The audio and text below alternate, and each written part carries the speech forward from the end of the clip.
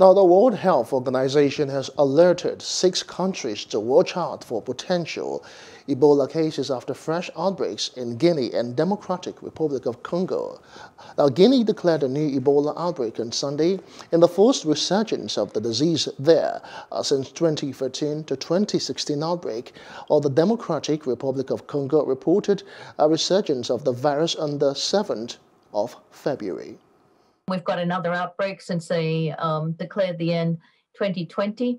Uh, we have found again, once you have had an Ebola outbreak, um, it, it, will, or it is likely that it will recur. We're seeing again, we've seen several outbreaks in Mbandaka, in Equateur.